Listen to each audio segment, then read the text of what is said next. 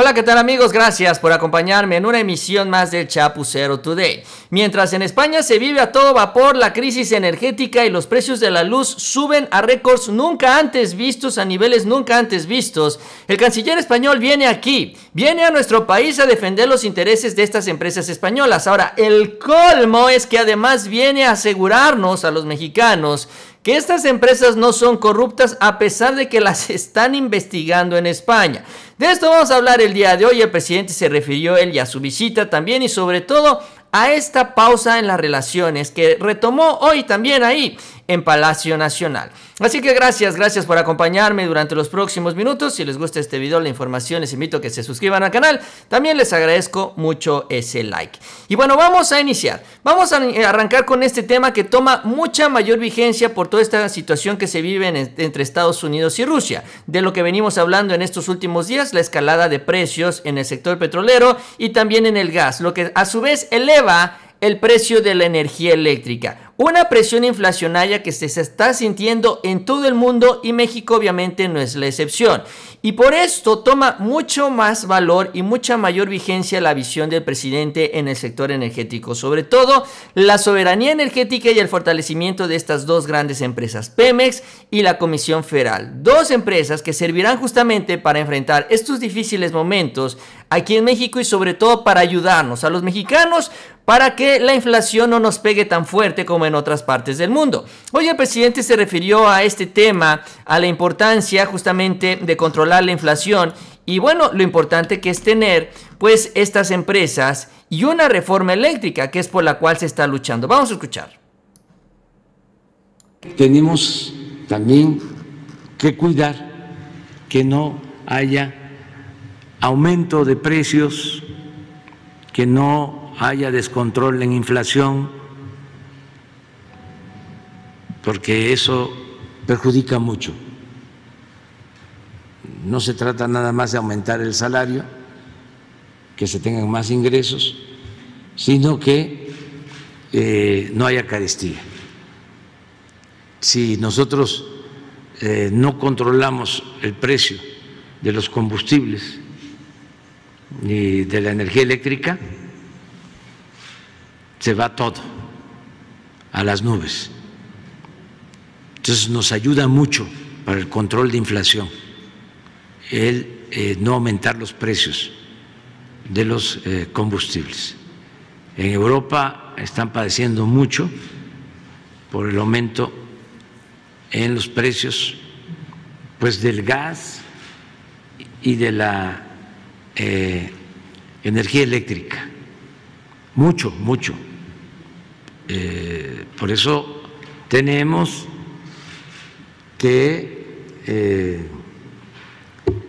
impulsar la reforma eléctrica lo que señala el presidente y es que él explicaba que por ejemplo en el sector petrolero pues todavía hay un control importante del gobierno federal. Esto le ha permitido al gobierno actuar con mayor facilidad. Sin embargo, en el sector eléctrico sabemos muy bien cómo se ha venido avanzando, cómo estas empresas en unos cuantos años se han venido adueñando del mercado eléctrico nacional y por eso se necesita la reforma eléctrica para poder mantener estables los precios y por esto también el gobierno tenga instrumentos y herramientas para podernos ayudar ayudar a los mexicanos justamente en contra de estos efectos que nos llegan del escenario internacional. Y esto es lo que no tienen en España. Digo, hemos hablado de la escalada de precios, también de cómo este modelo ya desde hace tiempo se viene quebrando allá en España, demostrándonos que no es precisamente el mejor camino a seguir. Sin embargo, toda esta situación que se ha registrado en Ucrania, la escalada de los precios y del gas, de los precios del petróleo y del gas,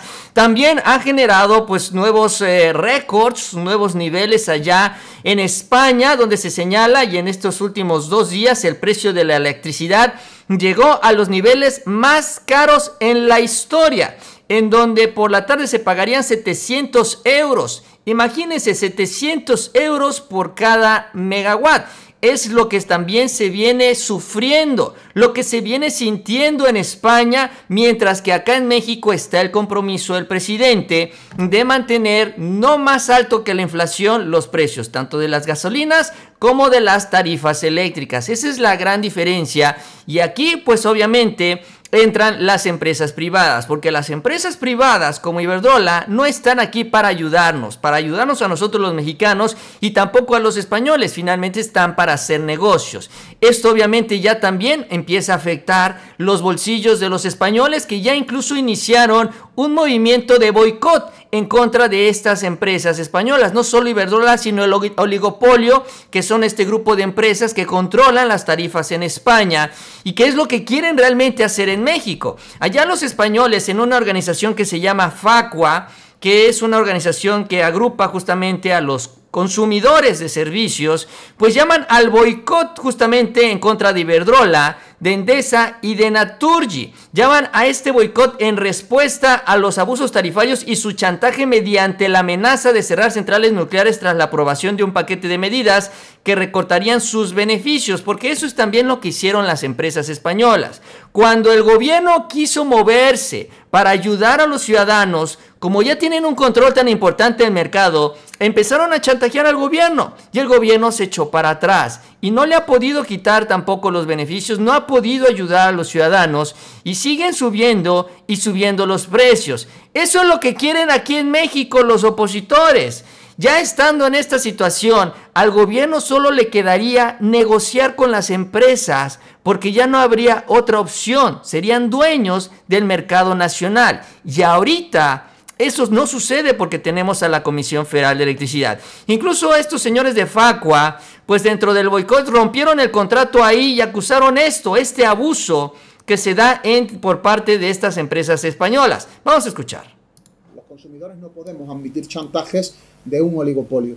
Y creemos que la respuesta es la que planteamos en la iniciativa que ponemos hoy en marcha. Este es el contrato de Facua con Endesa en la sede desde la que os estamos hablando. Este es el contrato de suministro que tenemos desde hace décadas ya con, Endesa, pero la situación no puede seguir. Eh, nosotros rompemos este contrato. Estamos hoy realizando gestiones para el cambio de compañía comercializadora y es lo que le pedimos que hagan a todos los consumidores. Cambiar su contrato, irse del oligopolio, boicotear a Iberdrola, a Endesa y a Naturgy. No podemos soportar más ni abusos tarifarios ni chantajes. Bueno, eso es lo que señalaban incluso antes, antes de este conflicto en Ucrania. Ahora, imagínense con la escalada de precios la situación cómo se está complicando y tanto así que incluso Iberdrola tiene que ya amarrar, literalmente amarrar a sus clientes. Miren lo que denuncian en las redes sociales Abel Másquez, un español que también habla sobre cómo le está yendo y dice así. Pues me acaban de llamar de Iberdrola allá en España, amenazándome que si no me hago un contrato blindado con ellos, el jueves me sube el 50% del gas por la invasión a Ucrania. Con un discurso catastrofista de flipar, dice así exagerado. Eso es lo que denuncia a través de las redes sociales, eso es lo que están empezando a hacer. Están tratando de amarrar a los clientes porque vienen más incrementos en las tarifas, tanto del gas como de la electricidad y un gran etcétera. Esto es lo que están haciendo y el colmo es que el gobierno de España avala toda esta situación, este escenario, les decía yo, no les queda otra a ellos más que negociar y jalar con este oligopolio, porque si no, estas empresas le bajan el switch a España y adiós gobierno, adiós gobernabilidad. Adiós poder político. Esa es la fortaleza que tienen allá. Y miren lo que dice Pedro Sánchez también en una evaluación que él hace sobre este fenómeno inflacionario que ya está empezando a pegar en Europa y en todo el mundo por este conflicto y las sanciones económicas de Estados Unidos impuestas a Rusia. ¿Y culpando a quién? Culpando al presidente justamente de Rusia. No es por la ambición de las empresas españolas, no es porque el sistema está viciado y el modelo simple y sencillamente no sirve para los ciudadanos. Todo es culpa del presidente ruso. Vamos a escuchar lo que dice Pedro Sánchez. La inflación, los precios de la energía son única responsabilidad de Putin y de su guerra ilegal en Ucrania. Sí, señorías, es verdad, es la verdad, señorías. Es la verdad, eso es lo que dice Pedro Sánchez. Él es el gran responsable de lo que está sucediendo con los precios de la energía eléctrica. aunque los precios hayan subido desde antes que se iniciara este conflicto en Ucrania. Y es que las cifras son muy dolorosas para Pedro Sánchez y en general también para los españoles. De acuerdo a los resultados que se tienen del mes de febrero, la inflación alcanzó allá en España 7.4%, que es la más alta en 33 años. Y se espera, obviamente, que esto siga subiendo, porque en febrero todavía no había movilización militar y no habían sanciones económicas. Así que todavía para el mes de marzo se espera una escalada más importante en los precios. Y por eso es que están tan preocupados y por eso es que están todos ya agrupándose en este escenario, tanto las empresas como el gobierno, para responsabilizar al presidente de Rusia mientras ellos siguen llevándose los grandes, grandes beneficios. Y este es el contexto en España y esto es lo que viene a defender el canciller español el día de hoy, Juan Manuel Álvarez,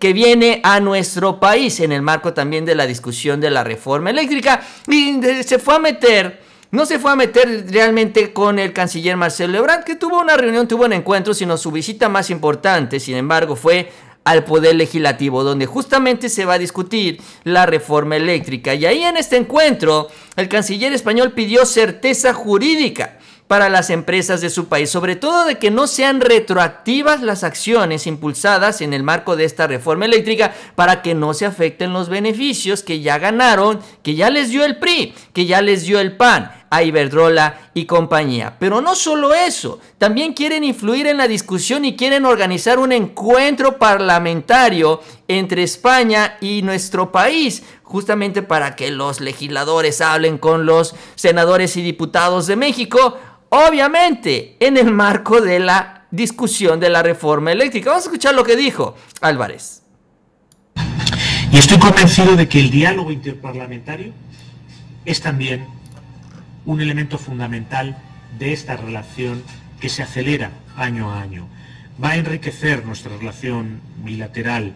Hay posibilidades de acción parlamentaria conjunta y yo creo que resulta esencial la pronta celebración de esa 16 reunión interparlamentaria España-México desde la última que tuvo lugar en, 2017 y les animo a reavivar, a retomar esa agenda tan importante.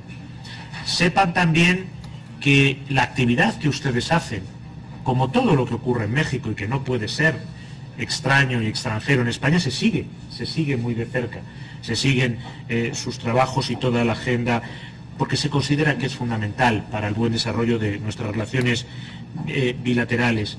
Y en ese sentido, eh, nosotros abogamos por una consolidación de un marco que dé seguridad, que dé seguridad jurídica a nuestros ciudadanos, a nuestras empresas, que dé también seguridad a la Unión Europea.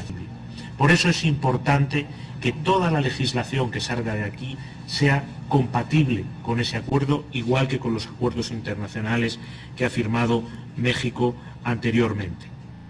O sea, no solo les está diciendo cómo legislar, porque eso es básicamente lo que les está diciendo en su mensaje el día de hoy. Ustedes van a aprobar leyes, pero estas leyes tienen que ser compatibles con los acuerdos internacionales y con los convenios que ya tienen en el extranjero. Eso le está diciendo a los legisladores, sino además les dicen, vamos a venir aquí nosotros a decirles cómo además hacer estas leyes en este intercambio parlamentario que no se da desde el 2017. ¿Y por qué no se da? Porque España no le interesaba hasta ahora que hay un tema que eventualmente les puede afectar, como es la reforma eléctrica que impulsa el presidente López Obrador. Bien mañosos, pero bueno están cuidando su negocio y así lo hicieron y se los permitió el PAN y el PRI. Ahora, el presidente los paró en seco también, paró en seco al canciller hoy en la conferencia mañanera, recordándole que, bueno, es bienvenido aquí en nuestro país, sin embargo, la pausa, le recordó y le mencionó, la pausa se mantiene sigue vigente, no cambia por el hecho de que se dé cordialidad diplomática y se abran estos espacios de diálogo. La pausa impulsada desde Palacio Nacional en contra de estos intereses españoles sigue vigente. Vamos a escuchar lo que dijo el presidente. Mire, eh, yo cuando hablo de pausa es para que políticamente se internalice una realidad. la relación eh, anterior con España estuvo